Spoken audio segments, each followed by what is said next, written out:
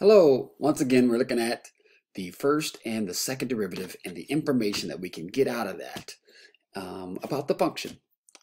Still on the first derivative, in the last video we looked at an example of using the first derivative test. Uh, we're going to try it again, but with a uh, more difficult function. The derivatives are more difficult, and the algebra might be more difficult. In the end, though, we'll still be able to use the tools of the first derivative test. And then we'll introduce the second derivative later in this video. Our function is x squared minus 1. The entire function is cubed.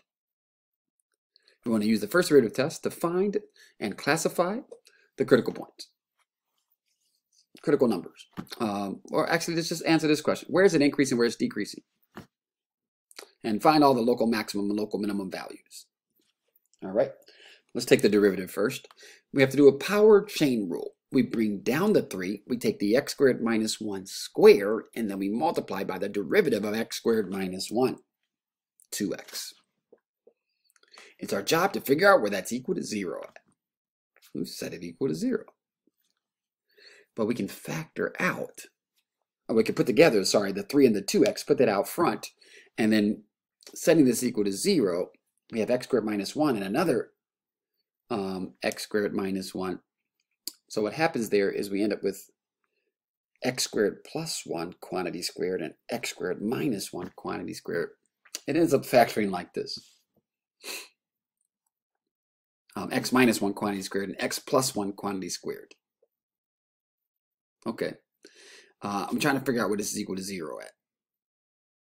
And so if x is equal to 1, for sure, it's equal to 0. If x is equal to negative 1, it's equal to 0 got to be careful now.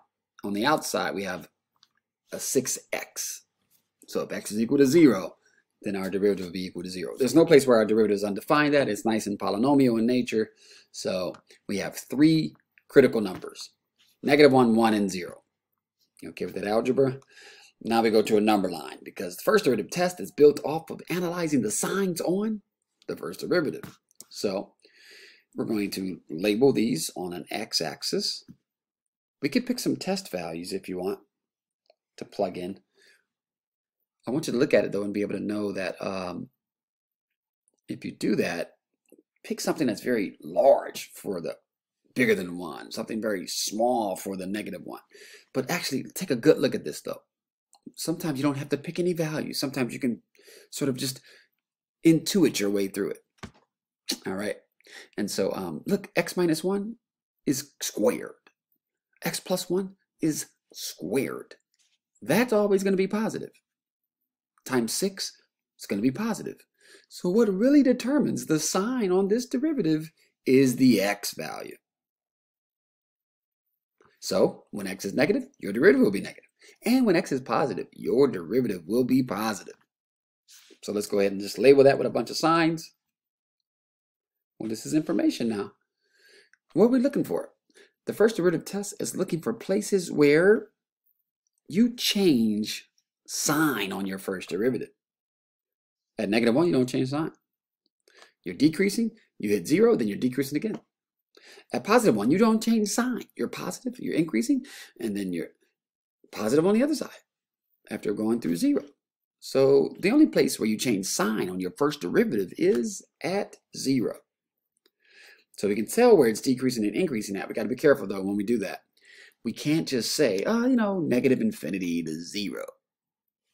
That's where it's decreasing at. Because then that would include negative one. Technically, you're not decreasing at negative one. You plateau there, and then you go back to being decreasing. You're, you're decreasing, you plateau, and then you decrease again. We had a picture of that earlier, but yeah. So so no, um, you gotta you gotta say negative infinity up to up to negative 1, then go from negative 1 up to 0. In between that, you put a union symbol. Same thing for increase. It's at this place, x equals 0, where you change from decreasing to increasing. That place is going to be a, uh, a place where you have a local minimum value. We can plug it back into the original function and find out that that value is equal to a negative 1. Local minimum value of negative 1 for this function. And that's it. No local maxes. That's it. All right. First derivative test. Analyze the signs on the first derivative. Okay. I want to introduce you to the second derivative's connection to the function. And next video, we'll introduce the second derivative test. But we can get some information. Everything we've said so far has been about the first derivative and how increasing and decreasing information is gathered from the sign on the first derivative. Well, the shape of the graph is determined by the second derivative. Earlier, we talked about some, some well, now we're going to officially say what concavity is. Okay. It describes the shape of the function two options, concave up and concave down. A function that's concave up is like a cup. There's two sides to it. There's a decreasing side to it and an increasing side to it. In a concave up function, all your tangent lines will lie below the function. That, that corresponds to where your second derivative is positive at. In a concave down function, there's two sides to it. There's an increasing side and a decreasing side. A concave down, like a frown, occurs when your tangent lines are above your function. So concave up like a cup, concave down like a frown. Your second derivative determines which one you have. The sign on your second derivative tells you which one you have. Okay, great. So then what about when the second derivative equals to zero? and you change concavity. What's so special about that?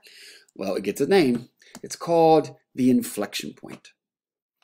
It's a buzzword name now, especially with you know all that we've been through with the pandemic. We were looking for the inflection points on the curve, places where things are turning around. You're changing your shape. You're changing your concavity. You got this rapidly increasing function. You want to know when is this thing going to stop increasing? Where's my inflection point at so I can start then to know that it's going to start to die off. The rate at which it's increasing is decreasing. That's what we need. And so they're called inflection points. Here's a graph with a bunch of letters labeling x values. And at those letters, we have we have um, different shapes on our function on those intervals there. But on some of them, we have changing shape. Concave down like a frown between A and B. At B, it changes to concave up like a cup. At C, it changes back to concave down. Something very strange happens at D. At D, you're concave down like a frown on the one side, but then abruptly, you're concave up like a cup. That's a place where your derivative doesn't exist at. That's a cusp. But that's okay. And then finally, we have a, another place where your derivative doesn't exist at but no change in concavity. Your concave up like a cup, your concave up like a cup. No change in concavity there at E.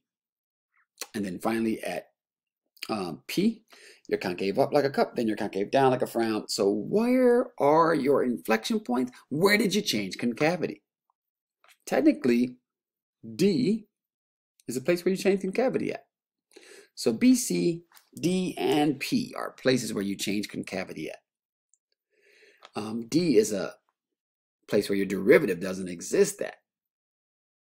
But that's okay. You change concavity there. Officially then, it's an inflection point. All right, this video is getting a little long. I want to introduce the second derivative test. Um, you want to use it when the second derivative is easy to take. If it's too much drama to take the second derivative, then maybe you shouldn't be using it. but it's very it's very helpful. Um, and so We'll get to that next video. My name is Nakia Rimmer. Thank you for watching. Please like and subscribe. Comment down below. Let me know what other videos you want to see. And hopefully this has been helpful to you. I'll see you in the next video.